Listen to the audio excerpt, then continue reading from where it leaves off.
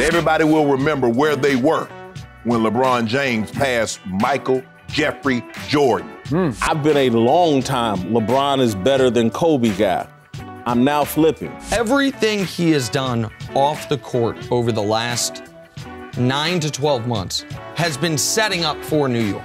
Chris Broussard here, and welcome to the brand new Hoops on Fox podcast. This podcast will give you your daily dose of all things NBA from Fox Sports, including the best content from Skip and Shannon, Nick Wright, plus special guests, fresh NBA content from myself, post game interviews from NBA stars around the league, and much, much more. Up first, Skip and Shannon look at what passing Michael Jordan's milestone means for LeBron James's legacy. Okay, Shannon, what was your takeaway from last night? All of what he said, Skip Bayless, check. Mm. Mm. Be looked to be revered like MJ, check. Mm. Shoot a fadeaway like MJ, check. Mm. Now, he don't stick his tongue out on dunks like MJ. No. But everything else, check, check, check. Mm-hmm.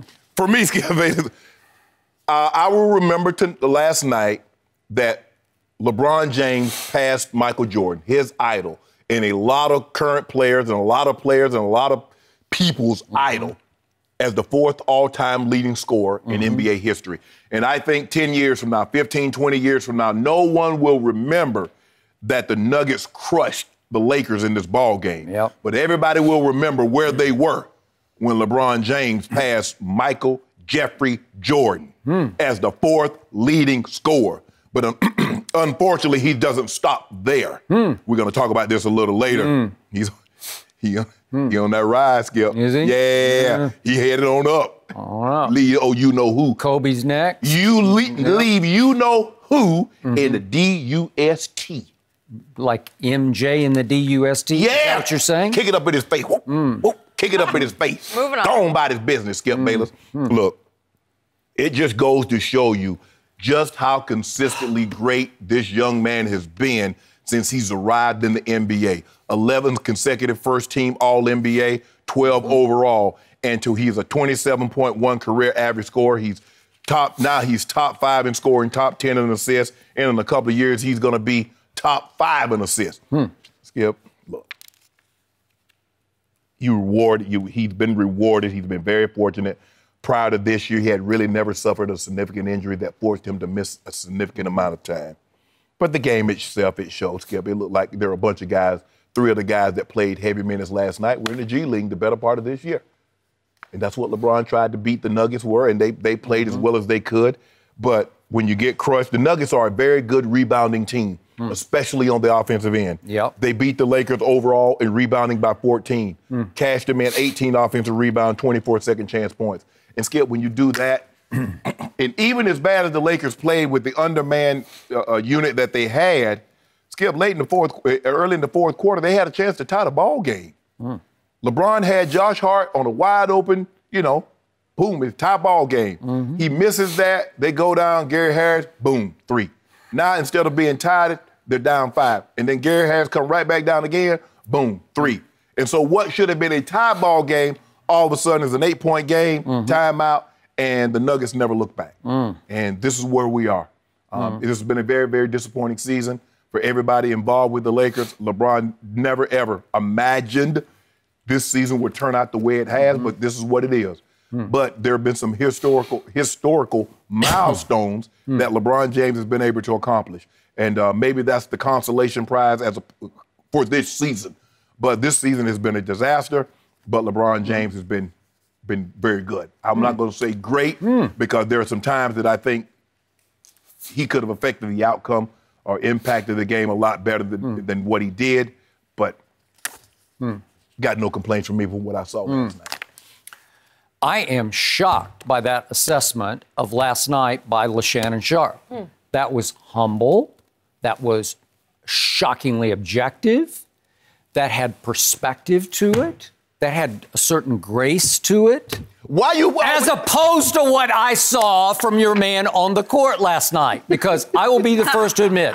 By the way, Jenny, I did. Huh. Do you remember my score prediction? Ah, yeah. It was one. I, I predicted 115 to 95.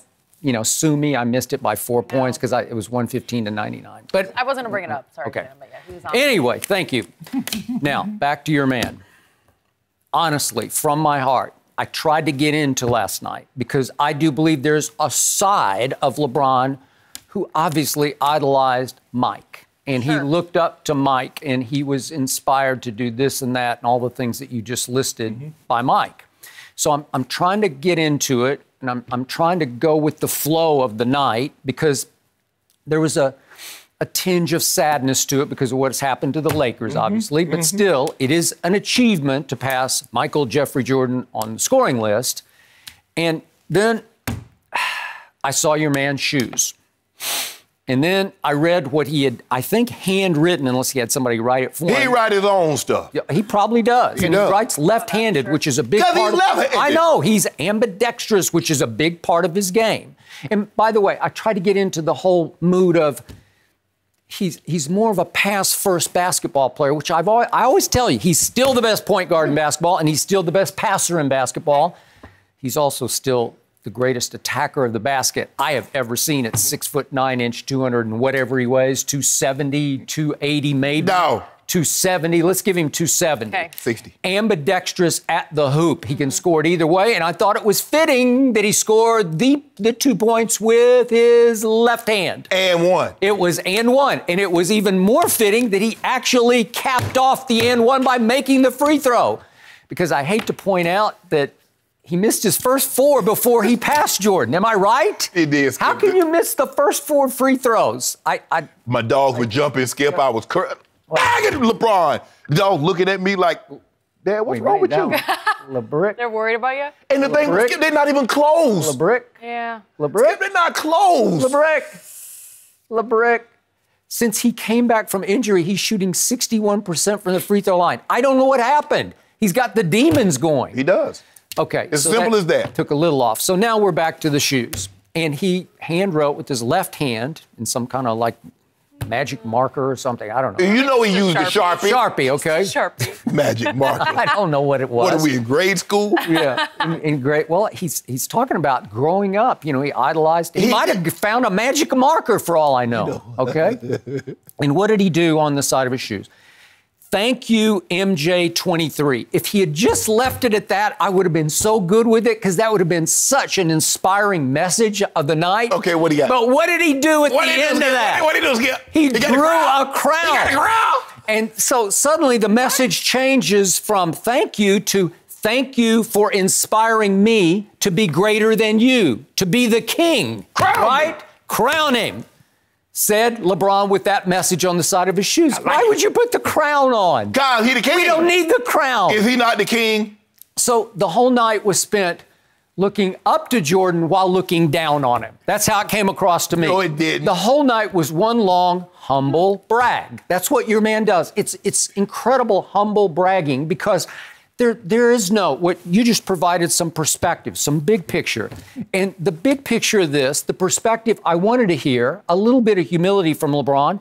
It did take 118 more games than Michael Jordan played to pass him. Well, 118, that's a lot of games, Okay, man. but Skip, you still won't mention LeBron Okay. James is still 1,240 shots behind him. and you still won't mention that Michael played in an era in which they did not emphasize even taking three point Okay. shots, not let alone making them. They just didn't care about it. No. It was it was almost like a taboo shot when it first came in, like a joke, a gimmick, a mm-hmm. clown shot. Like you don't do that. If the greater you are, the less you're going to shoot that shot.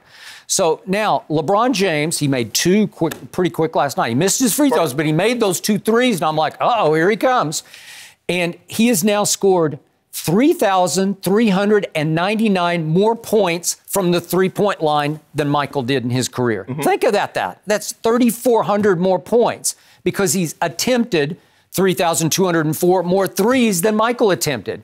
Well, that's a shocking advantage to LeBron to, to catch and pass him. But even with that, even with the 3,400 more 3 Mm-hmm. uh, 3,400 more points and the 2,000 more threes, Yeah. he's still 1,240 shots behind him. Okay? But but again, Michael was was a very good passer. Let's not discount that. He's Right. 2,000. LeBron is 2,000 assists clear. Okay? But think about 118 games? That's a lot of games. Okay, what? Uh, uh, I think he averaged what a little under 6 Mm-hmm. assists a game. Okay? So remember, Michael was an 84% three Yeah, uh, free, free throw, throw. shooter, and and LeBron is still teetering, but his career average still hovers right at 74. So 10% more free throws. If you do that over time, mm-hmm. it's a staggering number Yes. of more points Yes. that you can make Yes. from the free throw line. Correct. And I still say LeBron has actually neglected the free throw line because there a lot of times he was afraid to go in there and do what what was going to happen, which is have to march to the free throw line and shoot more free throws. Right. So so to me, I, I needed to hear some of that perspective last What night. perspective? Well, I just told you. Oh, so you want him to say, you want you want him to say, you know what? Yeah, I passed Michael. I passed Michael, my idol, my hero. I looked up to. He gave me inspiration. But guys, I want y'all to know, I did play 117 more games. Guys, I did take 2,000 more threes than him. Really, is that what you want him to say? Yeah. Man, Perspective. Just say, I, look, I know that, that it took me a while to do it, but this was more of a longevity achievement for LeBron. This was more of, I took better care of myself than Michael did. And I'm always going to give you that because Michael did not take great care of himself near the end, even though he worked out hard. He, he hit the cigars, he, he- you know, all the rest. And, and I think LeBron's starting to go down that path a little bit too much now. If he really wants to pass Kareem, we're going to talk about that. He gonna pass him. I don't want to. He gonna. He gonna Okay, happen. All right. But obviously, LeBron has focused harder on his fitness than even Michael did with the great Tim Grover. They used to have their breakfast club. Right. And that's I'm going back to 98 during the finals, you know, during that run. Right. Okay. He he was in peak weight room sort of shape. Uh-huh. And and yet LeBron has managed to stay a little healthier a little longer. I know he just had the 18 game injury that he Yep. just suffered. But here's the thing, though, Skip. No, I, I've never, and I've I've seen, I've been alive to see a lot of records passed. I have yet to hear the guy when he passes.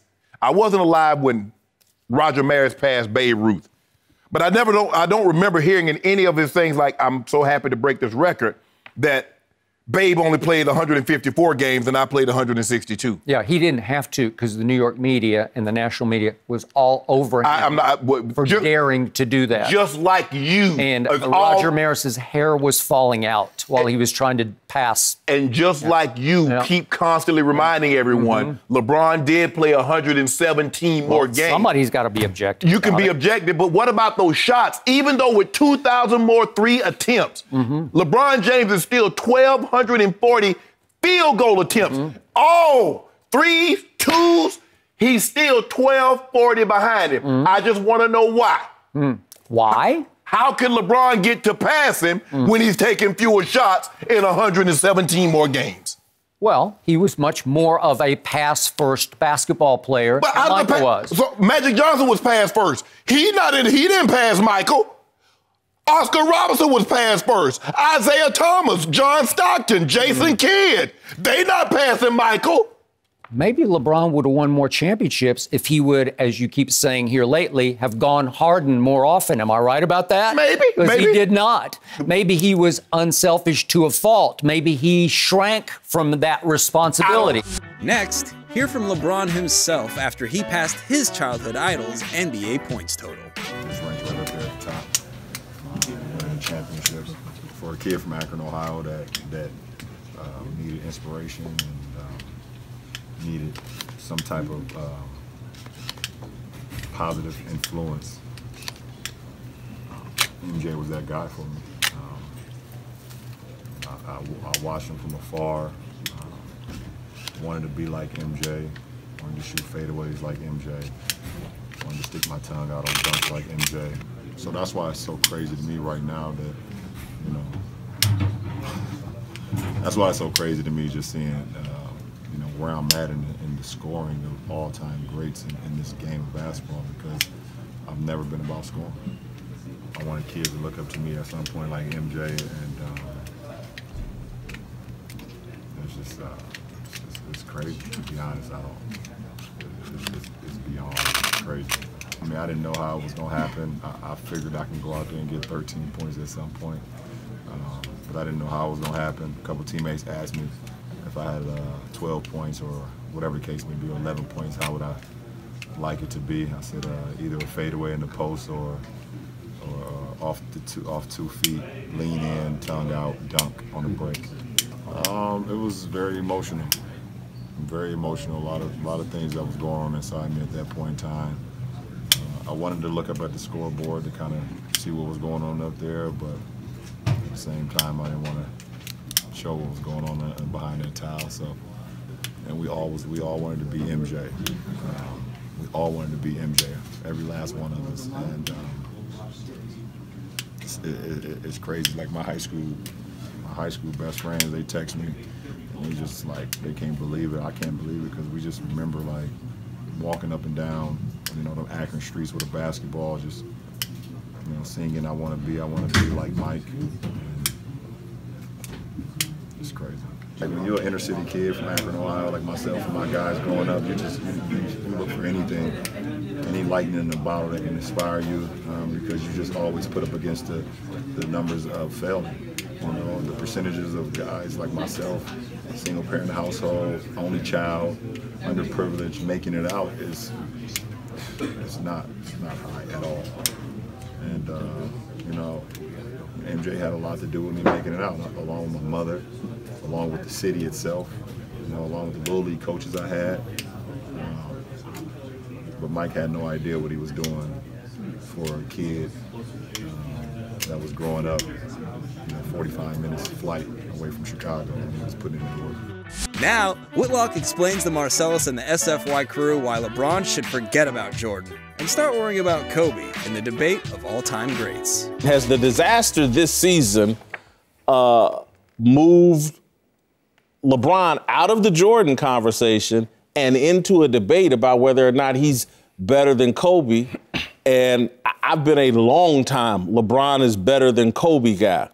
I'm now flipping. I, Kobe, the competitive nature of Kobe, the Mamba mentality that's being talked about and talked about and talked about. I'm a, I'm I'm I'm jumping ship to Kobe. You said that with a straight face. You Yeah. straight up with it. So you just burned 16 years of tape just because you saw somebody give a little more effort at the end It's of the day. third time. Okay, you know Third what? time I seen him not It's- be compete. It's amazing in your glory years, which is supposed to be the gravy years, that we now going to judge you on the meat and potatoes, which is the film that said that LeBron is definitively better than Kobe Bryant. He passed Kobe Bryant. You can't go backwards. Uh, this is supposed to help you, not hurt you, these years of LeBron's career. I- it, it, it- it's insane for anybody to look at effort, which obviously translates to fans. Competition, Marcel. Oh, it is competition, but it's also achievement. It's also achievement. He's jogging to a 27, 9, and 8. Kobe wasn't doing that in, in year 16, and Kobe was giving full effort. I'll leave you with this. For example, my coach used to always say in training camp, fans would go crazy like you when somebody would run a nine route and dive for it. Oh, the fans like, oh man, he gonna be nice this year. Watch that dude. Watch for him. And coach would say, yeah, if he was a little faster, he wouldn't have to dive for it.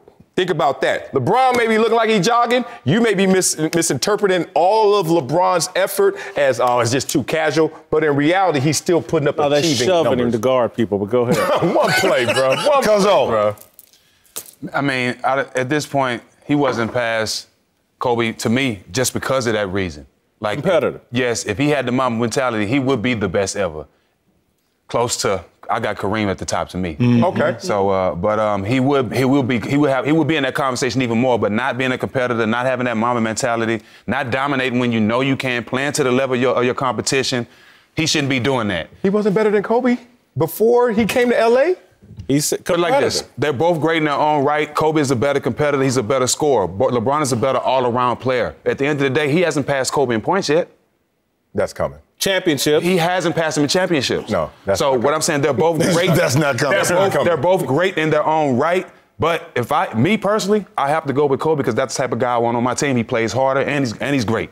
I think it's more so on the LA level too, though, because now it's being accentuated here at LA because of what Kobe accomplished. I, I don't think nationally, I don't think that conversation is as relevant as it is here mm. in LA because now they're going back to, well, Kobe would have done this. Kobe would have, he never would have done this. Right. And some of the things that Kobe didn't do right, like the game we had in Phoenix, we're in game seven where he didn't shoot in the fourth quarter, mm-hmm. people forget about that. Right. Okay, because he was trying to send a message. Mm-hmm. Now this accentuates everything that Kobe did right because of what's happening with LeBron. And let's keep in mind, I said this before.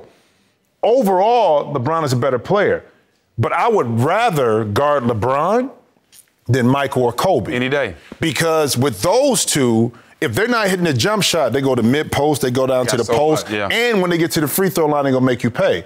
With LeBron, is some things that I think I can take away, and and and he'll kind of phase out a little bit. Those two, they continue to come at you no matter what. But, then, but then they comparing the, the fans are comparing 20 years here in LA and five championships to one year. You can't For do that. You can't, You do, can't that. do It's- that. It's, not a fair comparison. And look at the team he's playing with. It's not a fair comparison. But that's just, that's just, that's the fans that. What have you done for me lately, fans? They they want you to. But win that's now. why I push back at winning it's a Whitlock. problem. I push back at a fan that flips. I don't push back at somebody say he was never better than Kobe for me. I respect that, but how does he I flip based on react this? to new information. That is me for my entire life.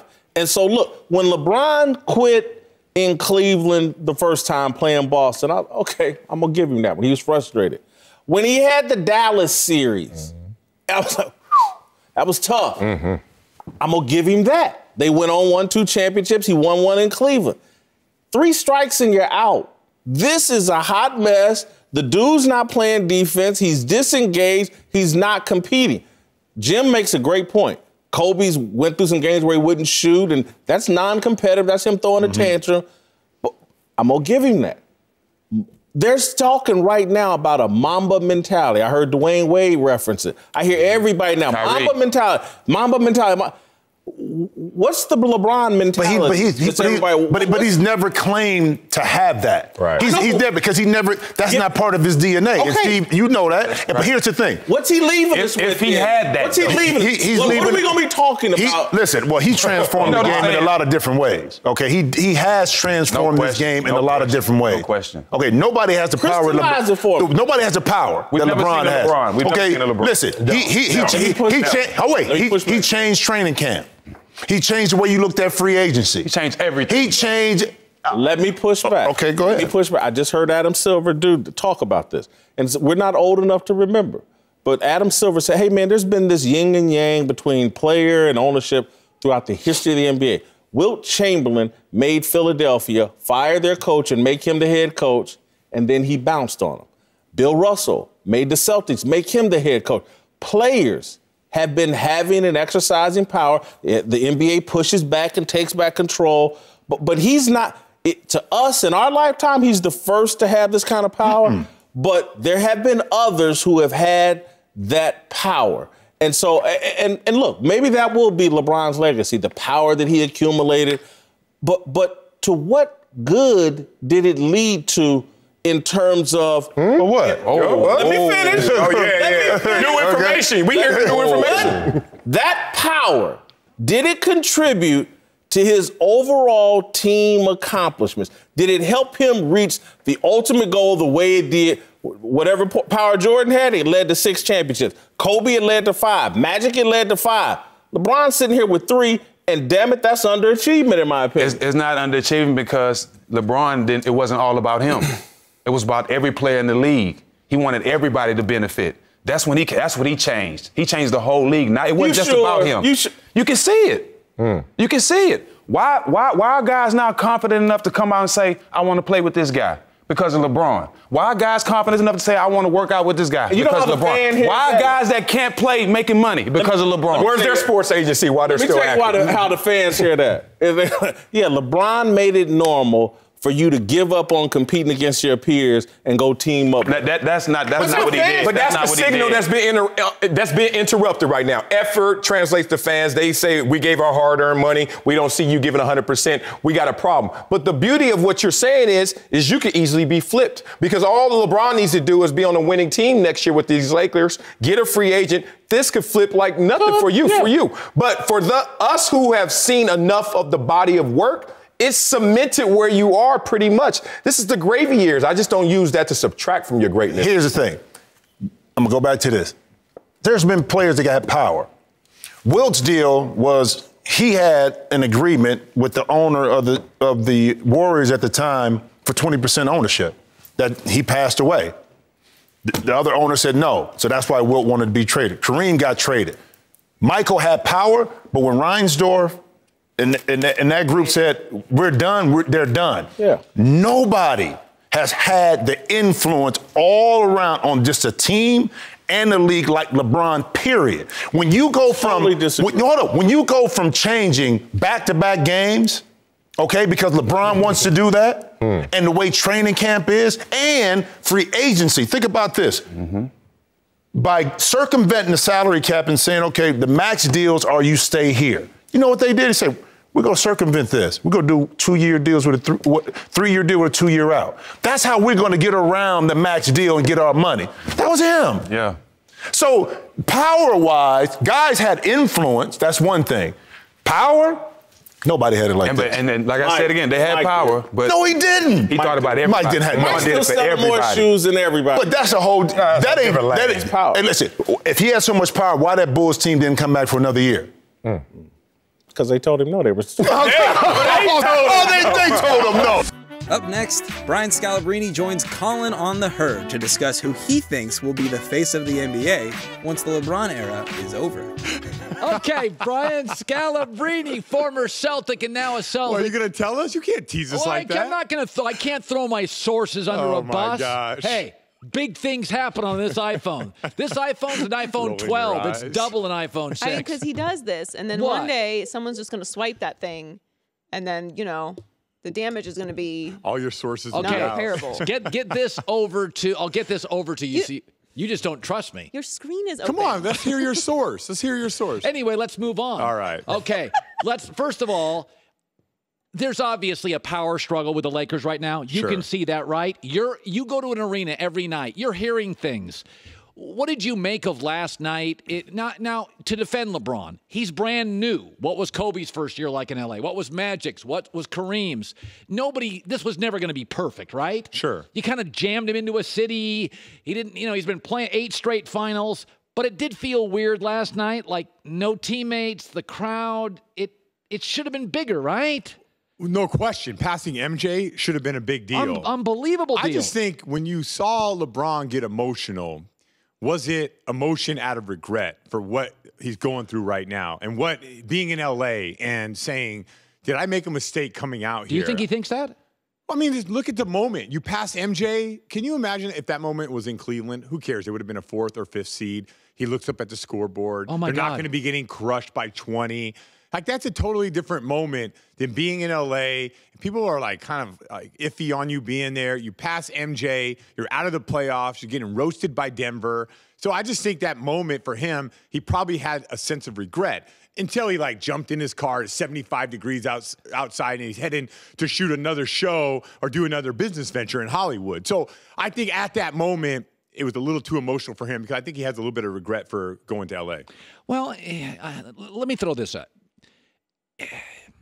You believe you know who's going to be a Laker next season, and it should be noted on the secondary market, the Enes Kanters, Carmelo Anthony's don't want to be here. Sure. Paul George said no. There's a lot. Kawhi reportedly not interested. So there's about eight guys that are really good players, maybe seven available. You think you know who the two are? Yeah, I mean, and I'm just guessing. It's not like I have like sources like you with the phone. I just think in Philadelphia, you look at the Jimmy Butler Tobias Harris situation. Yeah. Are they going to come with a with a 190 million max contract for Jimmy Butler? I'm not sure. They might. It depends on how Philly plays out in the playoffs. But I kind of look at if it's not Philly, it's probably the Lakers. I could see them saying, you know what, we don't have anybody else. We're going to miss out on KD and Kemba Walker, and why don't we go after Jimmy Butler? And, and with the amount of money that they have left. I can see him going after DeMarcus Cousins as well. Oh, boy. So you act no, but look at that roster: LeBron, Butler, Cousins, and you still have Lonzo Ball, Kuzma, Ingram. You still have those guys. So you Hart. wouldn't, you wouldn't have to give up anything. No, that's the, that's the beauty of free agency, right? You don't have to give up assets to get those guys. So instead of giving your whole team and seven picks to try to get Anthony Davis, you can say, well, why don't we just sign these two Oh, guys, God. add them to LeBron? If you're telling me right now, Jimmy Butler, LeBron, and Boogie Cousins, that's too much drama. This year's been too no, much there's drama. There's never too much drama in LA. Uh, I mean, they have a high quota for drama in LA. By the way, Boogie Cousins, they acquired Andrew Bogut for a reason. They trust Bogut with four minutes to go in a game. They don't trust Boogie Cousins. But he'll be better next year, and then he'll be better as the season goes along. That's how, I mean, that's kind of how the Achilles things work. Speaking of drama, uh, Mr. Celtic, Your team's been a massive disappointment, and the very smart and accurate Charles Barkley went on and he talked about Kyrie Irving the other day. And Kyrie Irving, here's Barkley on Kyrie, your guy, Scalabrine. What do you make of that? Well, I think Charles is looking at the team and seeing how inconsistent the Celtics look. And at times, Kyrie looks miserable out there when they lose. But I will say, from being on the inside and seeing these guys, it's very one. Some days, for instance, you lose to Houston, and I thought, oh my gosh, our our season's going down the drain. And then they make this flight to Golden State, and everything has changed. Now Kyrie's like super engaging with with the guys, and and the and the plane is super loud, and at, at the hotels, guys are talking. There's music being played. It was like a 180 So degree you were turn. there. Yeah, it's just like it's amazing to me how much difference it's been the last two days. Now, is it because there's less than 20 games to go? Are NBA players in general tired of the regular season? Which we're seeing that a lot more now. Oh, yeah. The Golden State Warriors the other night did not want to be out there playing. And they're the team that I think more than any team in the last five years, they're the team to me that seem to enjoy playing more than anything. Yeah. They did not seem to enjoy playing the other night. I think everyone's just waiting for the playoffs to start. And whether it's Kyrie and the ups and downs of free agency and all that stuff and and dealing with should I stay, should I go, going here, going there, when it's just about basketball for him and he has that pure mind and he wants to play, he's unbelievable. Go back.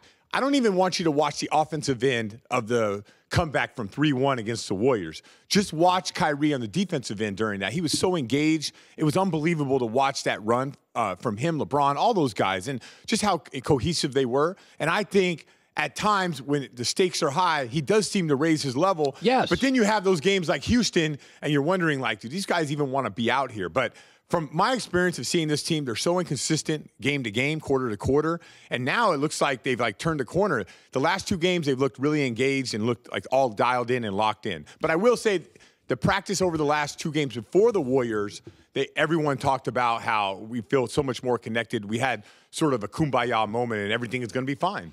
Uh, by the way, the um, the face of the NBA. So, how old are you? Forty. You're but a child. So I've been. wa- I'm mid fifties. Not sure about that. I'm mid fifties, and so I've been watching the NBA since the '70s, and there's always been a face of the league. You have to be a great player. Sure. You have to have flair to either your game or your personality, and you got to win titles.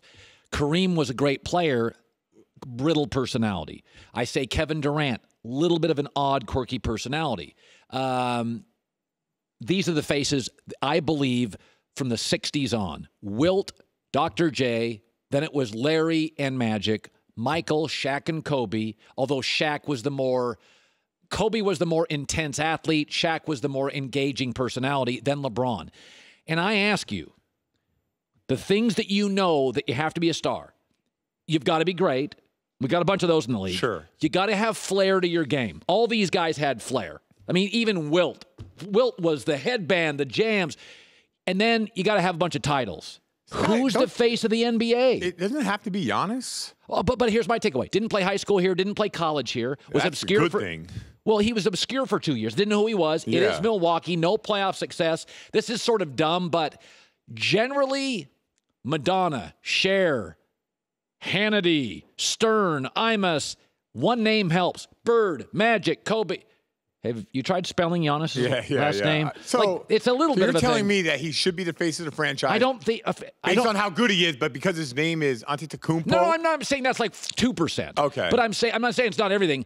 Milwaukee, no playoff success. Didn't Well, play high that's school. just now. Like LeBron is still going to control this narrative for the next two years. He's going to be the face of the NBA for, for two, years. more years. Yeah. So, and then Yeah. the, the the torch will pass. So why not jump on Steph Curry? All American family. Uh, you know, the second best player on his own team. How do you face the league? Well, he might, but he won a championship without Durant. Listen, I think you're right. That's how I feel, Steph. Sure. But it's really hard when you're perceived as you're not the finals MVP. Sure. Your teammate is. Yeah. And, and the NBA has been as strong as the face of the league is likable. Yeah, so Shaq why- and Kobe, LeBron, Michael, Bird, Dr. J. Wilt. There was a real relatability, a flair. Uh, uh, I, I got your answer. The- Gian- the- Giannis should be. he should be. But I don't know. The superstars today are weird. right? Durant is weird. Kyrie, Ke- Westbrook. uh, Kawhi Leonard, Westbrook.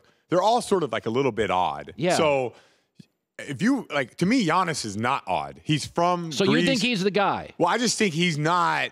He's not a weird guy. No, no, no, no, no. He's a great kid. Yeah, and he's like, I feel like he's going to stay in Milwaukee. He's like, what, Okay. what we want our superstar to be. But maybe that's us because I'm 40, you're 50, and and we want him to be all about basketball. Didn't grow up in the AAU culture, has a totally different mindset. Well, he didn't come. He came into this league. I didn't know who he was till year three. Sure. Uh, so. Gener- I knew about Kobe in high school, LeBron in high school, Jordan in college, Shaq in college. Generally, I'm introduced to you before you even get. I think Zion Williamson could be it if he goes to the Knicks. If his game trend. Then you got to win. That might that might not but, happen. but, it, but it is interesting. I, I I agree with you. I think next half decade it's still mostly LeBron. no, that's five years. I'm just throwing it Come out on, there. Colin. Everybody's Two trying to- years. everybody's pushing Brady out the door. You know who the face of the league is today? Brady. Tom Brady. Yeah, but he's still winning. Like uh, clearly, you're watching the Lakers. I don't. Is this thing going to change? Well, if they get Jimmy Butler, Cousins, different co- conversation. Giannis should be. Yes. And because of that, I'm sticking with Giannis. I Okay. can't. I can't go on what people think about high school and because they can't say his name. I can only go on if I'm a father. I want to sit down and watch a game with my son. This is the guy I want you to be like. no, I'm not denying any of that. Yeah. By the way, Shawshank Redemption's a great movie. It's a bad name for a movie.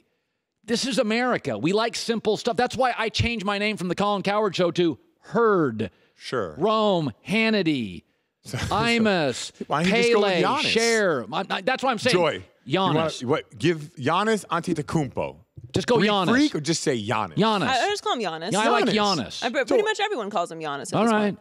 Giannis. Like, Greek, Greek- that's only Greek like- Freak that's was only- a fun nickname, but it's it's Yeah, it's, I'm it's saying not really too long of a it- I know it sounds dumb. That's only like two percent of the argument. No playoff success. Milwaukee. Well, that's just now. They're they're going to be fine this year.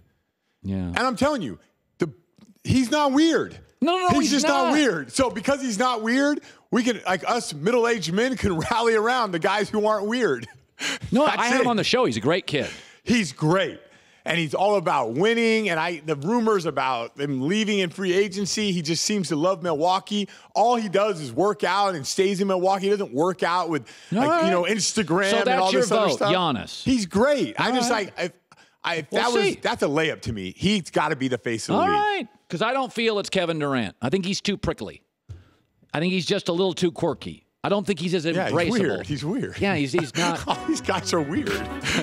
Following that, Mavs assistant coach God Shammgod joins Kristine Leahy to explain his unique name and famous crossover. Welcome to Fair Game. I'm Kristine Leahy, and we're here in Charlotte, North Carolina for the NBA All Star Game. My guest today was a legend on the New York City basketball courts and the creator of one of the best crossover moves of all time. Now he's teaching those moves as an assistant coach for the Dallas Mavericks. God Shammgod is here. How you doing? I'm good. How are you? Good. You know, I actually don't know how you got your name, God Shammgod. That's my uh, my father's name, and his name is God Shammgod.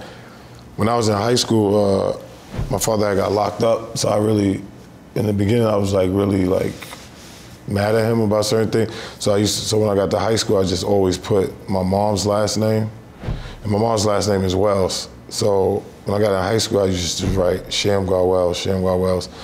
Because when I was little, you know, when you're little, it's hard for kids to call you God and stuff like that without getting teased. So then when I got to um, high school, you know, I used Shammgod Wells. And then when I got to college, they told me I had to use my uh, birth name or change it. You know, and at that time I wasn't going to spend $500 to change my name to my mom's last name. So then, of course, everybody found out that was God Shammgod. And then some people made a whole big spectacle of it. Mm-hmm. And some people thought it was me, like, oh, he's Calling so, yourself God. He's so arrogant. He want to call himself God and stuff like that. So it's, it's, a- it's funny, but I think the way I learned how to play basketball and things like that as I got older, it became cool to people. Yeah. Yeah, and then when they see me play, they kind of think it fits, Mhm. like you know, because all the dribbling stuff and things like that. So, you know, in the end, it works out. Everything works out. So this, um, the Shammgod move, Mhm. that is such a huge part of your legacy. So many players are replicating it. How'd you come up with it? Uh, when I was young, I used to always watch film of basketball players, like to learn learn how to dribble. Because in the beginning, I really didn't have no trainer, and then when I first started playing basketball, I used to be so embarrassed that I wasn't good in basketball. So I used to always tell people I was good, but I would never play. you know, so I was like real embarrassed. So um, once I did it by I did it by mistake, and then like I said, I used to always watch film. So I saw it on film to myself, and then me and one of my best closest friends that was in college, Corey Wright, we went to the gym. After we watched the film, I'm like, oh, this probably could work. I'm like, this is good. We went to the gym and I had to practice that move like thousands of times, and then it just became a thing. So you you said you weren't good at basketball, but Mhm. then is that what made you good? No, I was. What happened was, up until 13, I was like okay in basketball. Okay. So um, when I was in junior high school, I had a coach by the name of Tiny Archibald. He used to, Sure. he's like one of the top 50 Yeah. greatest basketball players. But when I first met him, I didn't know that, you know, because like I said, I wasn't into basketball when I was little. So when I went to my school, you know, I'm learning how to play, and this older guy, he'd come to me and he's like, hey, you should do this. And I'm like, what is this old guy talking about basketball? He don't know nothing about no basketball. So then I go home and I'm watching a VHS tape, you know, back then, and it's like um, below the rim, and they got guards like Magic Johnson, Kevin Johnson, Tim Hardaway, and in the middle of it, it got older people like Pistol Pete Maravich, Earl Monroe, and then of course it had Tiny Archibald. So I come back to school the next day, and I'm like, why you didn't tell me you played in the NBA? And he was like, oh, you know, you young kids think you know everything and all this other stuff. And then he he told me he was like, if you learn how to dribble, you will always be worth something to a team. Mm-hmm. So I got kind of like obsessed personality. Like if I really like something, I do it over and over and over again. So then after that day when he told me that, I just practiced morning, noon, and night, just dribbling, dribbling, dribbling, dribbling. And then of course, you know, my God-given talent just kicked in. Yep. So then it all just came, it just all came together. And, you know, from whether it's Chris Paul, whether it's Russell Westbrook, you know, Dame Lillard, uh, Jamal Crawford. These are all guys that you taught how to yeah, do no, it. it's all guys that ask me about it all the time Okay. about, you know, to, you know, like, you know, I grew up with Kyrie father, stuff like that. So it's just all been a part of it. And like, you know, when I meet them, it's all like, hey man, when, when I was young, I watched so much film on you, dribbling and stuff like that. And then when I'm around them, I just show them like different versions of it. Finally, Chris Broussard joins Nick and Cece to break down Kevin Durant's offseason options. Why would Kevin Durant stay in Golden State? What's the case for him staying where he is? Yeah, I've made the argument on this show before that I, I think it'd be great for him to stay and go for a fourth straight ring. Yes. All the guys, Magic, MJ, LeBron, Kobe, Shaq, all that he's compared to have never won four straight. Only Bill Russell. Right. And so if he had that on his resume, I mean, that'd be huge. But watching this season unfold with how difficult, you know, they're, the, tr- the struggles they're having this year, he and Draymond going at it, the tension there is with the team. uh, There's a reason those guys didn't win four straight, you know, because it's very difficult Yes. mentally, emotionally, not to mention physically. So it appears that that would be not quite unrealistic, but very difficult. If they win it this year, for them to come back and do it a four straight year, it just might be too tough. And look, he's got two great options, in my opinion New York and the Clippers outside of Golden State. So I, I, I as much as I'd like to see him get four straight, I don't think he would. Why do you think he is? Uh, I know we've talked a lot about Kyrie's levels of happiness and his inner, but I thought the other night when he was after they got blown out by the Celtics, him I don't want to say going at Steve Kerr, but it, his post game press conference juxtaposed to Steph Curry's, where Steph Curry kept the even keel. You, you said he's the Tim Duncan for or you one of you guys Yes. said Yeah, it's Tim yeah. Duncan for the Golden State Warriors, and Kerr. I mean Kerr predates Durant. And Kerr is incredibly popular within that locker room. And Durant just seems gen- uh, generally irritated with the situation. Well, I thought he had legitimate reason after the game. What he questioned was Steve Kerr talked about now we need to play, we need to be a little more mean, a little more intense before and during the season. And yeah, angry. And um, earlier in the season, they were talking about, man, let's play with a little more joy. Let's be happy. So that's that was the message point. That's Kerr's mantra, really. Well, was the joy, and then he contradicted it. Yeah, but now because we lose this game, Don't go behind the team because he should have told the team that after the game before he told the media that. Like you can't change your messaging point to the media before you talk to the team because you have to be consistent. And he said, "Oh, he said that. Oh, I thought he was talking about play with some joy." So that's that's what he should be able to do. He has the right to be able to do that because Steve Kerr changed a message point that, that we had. And then he went on to being like, no, it's about playing with some more joy. So I, I, I don't have a problem with that. I think people miscalculate the amount of stress that NBA players, and I'm going to say it's stress because dealing with the media, I'm part of the media now. But we used to have a system in Minnesota. And when you only have 16 games and you only play one game a week, all right. And we only typically have two media appearances that we have to do. We have one scheduled during the week, and we're definitely going to talk after the game. But you're talking about 82 games. Now you're talking about all these shoot arounds. Right, right. Twice There's a day. so many more opportunities. So I'm not making excuses for NBA players, but I'm looking at the schedule. I'm looking at how many sound bites, how many times people can get them tripped up. And I didn't like talking to the media because to me, I got a job to do. And catching the football going across the middle, being in shape, has nothing to do with the media.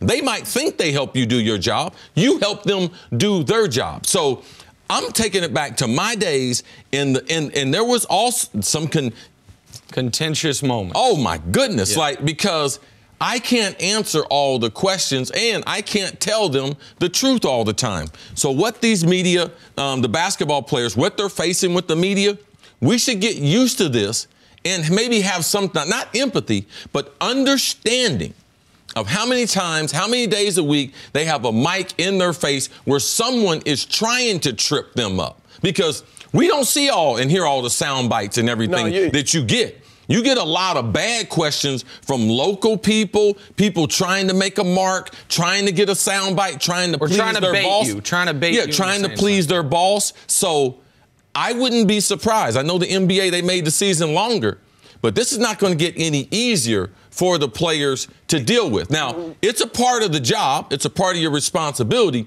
but we better understand what they're going through, and we better start looking at a little bit different if we're going to understand this modern day athlete. When I was a beat writer covering, you know, the Cavaliers, the Nets, the Knicks, I, I talked to some players. Some because look, I was at every shoot around. I was at every practice. I'm in the locker room before every game, after game, and I would get sick of going seeing the players. Cause it's like every day we're asking a lot of the same questions, and I would talk to them. I know you get tired of seeing me. Right. I'm here, so there should be an understanding. And I think with KD, I mentioned that I've been told KD and Kyrie were a little leery of New York. Not, not saying they won't come, but a little bit leery just because of the media. It's something that should be discussed between right. the two of them. They should consider it. Now, what I would say is that when you played and when I was a beat writer before the internet, uh, it was a little different. New York was more different than everywhere else. Yeah, New, we New York's known We for didn't have social media. sensationalism, right? And yeah, and the internet was just come, but it wasn't as big of a factor as now. Yes. But the internet, um, I mean, uh, New York's known for sensationalism, tabloid journalism. Now that's kind of throughout the country. Because you know Well, you, you can Twitter. So it's not right. That's so why I don't it think won't going be to the as Knicks is- different. is as jarring, Right, I agree. It's a going- little bit different, but it's not as much. I I understand there's going to be every city doesn't have a New York Post, and I, I, I get that, and every city doesn't have the intense scrutiny. But you know, Philly's pretty intense, by the way. Boston local media is pretty intense, And the national media is but the national anyway. media covers everyone. Right. The internet covers everyone, and so the, a lot of these guys. They, it's not a beef t- typically with the local guys. You- Not all, you No, know what I mean? right. Because they, they do Not get relationships with them. For Durant, when it comes to the Warriors, everything he has done off the court over the last nine to 12 months has been setting up for New York. Now, everything he's doing with Rich Kleiman, the office space that they're s- trying to set up, there, there's the element of LeBron's now on the West Coast, kind of t- is sucking up that air from the media. The Kevin Durant's ability to go to New York and be the star in the biggest city in the country. And Kevin Durant is in, and Rich Kleiman, to his credit, the, the mogul business. They, they have real estate deals, they, they're doing media stuff, their own media company. So, it would be, to me, it would take a massive shift or a seismic event for Kevin Durant to change that course. I don't think he'll go to New York by himself, and I don't think he should. But I, but because of If the you move go with they made, Kyrie right? or- but, or but somebody KD will be a huge draw. Like because of the move they made, it was one of the reasons the Kristaps trade, even if you love Kristaps as a player, was such a great move for the Knicks because now they don't have to do anything this summer to be able to sign to two get two. guys. But It they'll be talking. set up. KD will be talking with AD, with Kyrie. I just don't think you should go there alone because you won't win at a high level alone. not in the NBA, And if you don't win in New York, it's horrible. And that's where the media will really get bad. Let me say this last thing quickly about KD. In discussions with him and, and what he said about Kerr the other night, one thing I've learned about KD, he just wants to speak his mind. And whether it's some no name going at him on Instagram, whether it's a media person saying something, Mm-hmm. he's going to confront you. Or Steve Kerr. He's going to say his mind just because that seems to be the type of person he Can is. Can I follow up just one quick question? I'm sorry to something you said about winning in New York. What do you think winning in New York means, though? Like you said, it's horrible if Winning you don't in win. If if if KD went to New York and won a title, that's the best. But I'm it would mean more. Oh, he's got to win a championship. Compared championship. to where they were, all you got to do at this point for the last couple of years, get them into the playoffs. That'd Show be the nice initially. No, no, no. initially. That's franchise and Initially, that's local right. people. Right. But KD is trying to be one of the one of the biggest names that's ever played in sports, and how that. Um, how that gets him into other businesses. No, we, we're fans, all right? He's not a fan. He's making a decision that would change his life. Thank you for listening to the Hoops on Fox podcast. Don't forget to subscribe and leave a five star review letting us know what you think of the show.